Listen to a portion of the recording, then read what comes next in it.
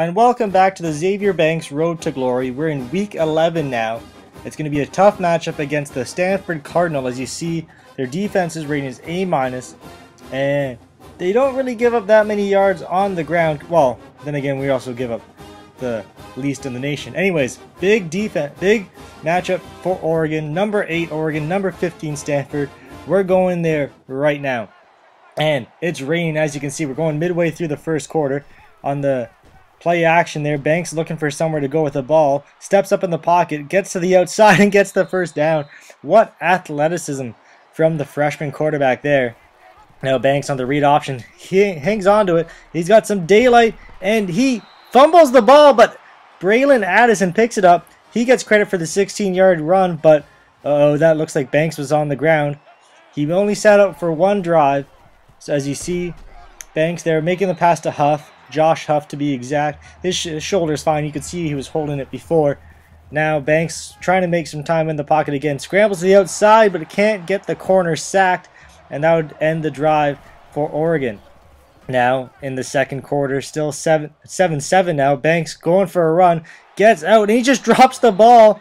But an Oregon player was able to fall on it. Now looking for someone to pass to. Finds his old buddy, Keanon Lowe. 21-yard reception. That's going to get them in good territory with three minutes left in, in the second. Now Banks, oh, he gets lit up. And I don't know what he was thinking. He just held on to it on that read option. And wow, big hit there. So on third and eight, handoff to Marshall who gets brought down. And that would end the drive, giving Oregon, you would think a field goal, but no, they missed the field goal there. So second, still second quarter in his first interception of the game. And ill-advised pass, and yes, he wants that one back. Now, Stanford's up 17 to 7 early in the third quarter. Banks airs it out long. He's got a man, and it's Keanon Lowe for the touchdown. Huge touchdown play to bring the Oregon Ducks within three. Still in the third quarter now. Banks looking for someone to throw to.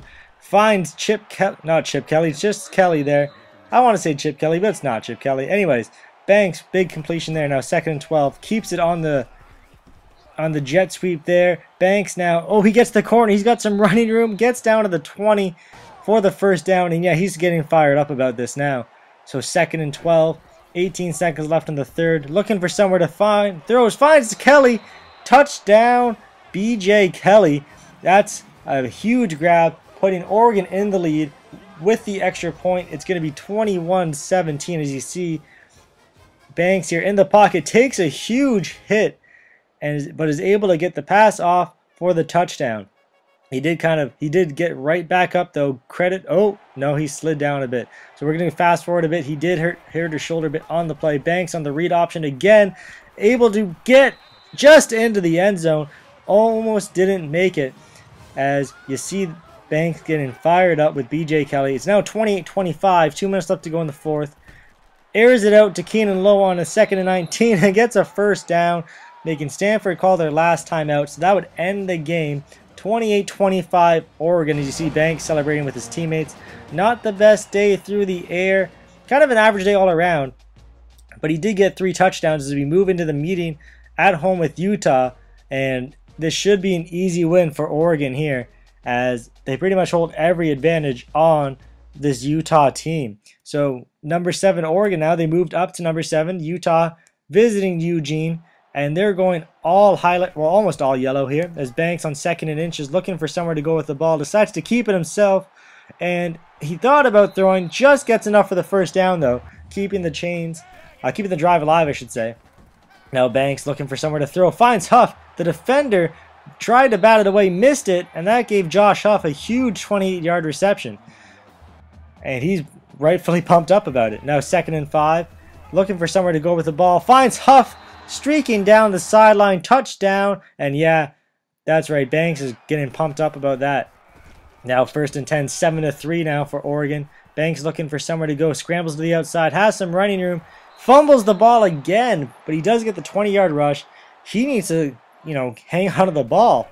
Another read option here. Banks, no one around him. He's going to get some nice daylight he just tries to cut a bit too much, slowed him down a bit, did get down to the 15 yard line and just tosses the ball to the ref. He knows this game is one that Oregon should win.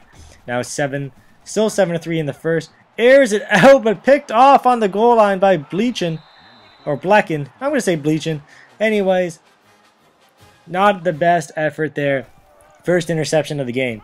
Now seven and three. Oregon wasn't able to do anything. Oh no, he's a fumbled.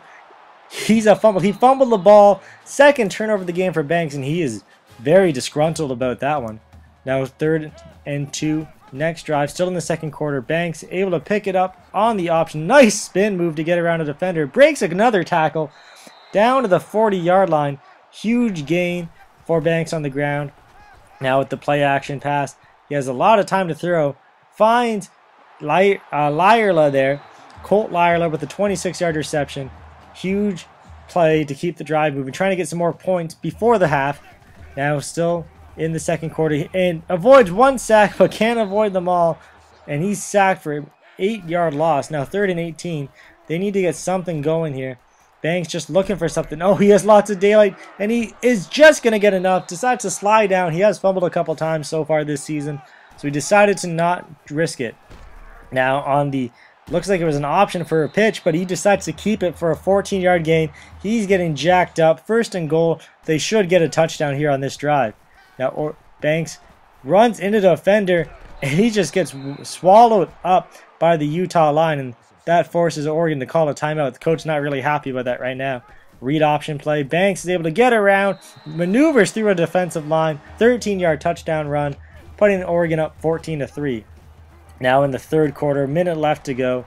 Banks picks up a 15-yard run, trying to put some more distance between himself or between Oregon and Utah as Banks gets the outside. He's loving running, but he just can't get enough. Didn't get to the edge as the defender is able to trip him up. Now 14 and 9 for Oregon. Utah's trying to make a nice comeback, but that's a nice play by Lyerla, snatching the ball away from the defensive back. And that's a huge gain for Oregon.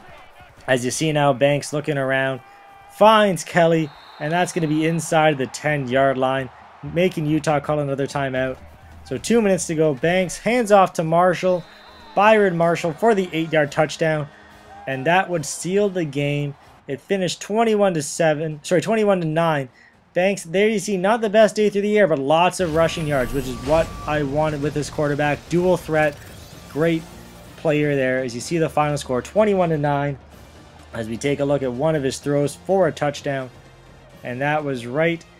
I believe that was the one to Huff in the first quarter, and that pretty much said that was the statement right there. And next week, it looks like they're going to be playing the Arizona Wildcats the number eight Oregon Ducks welcoming the seven and three Arizona Wildcats in. Come back, make sure you take a look at this. It'll be an interesting game. We're gonna have two two games again for you, so please come back. And as always, like or subscribe to the channel.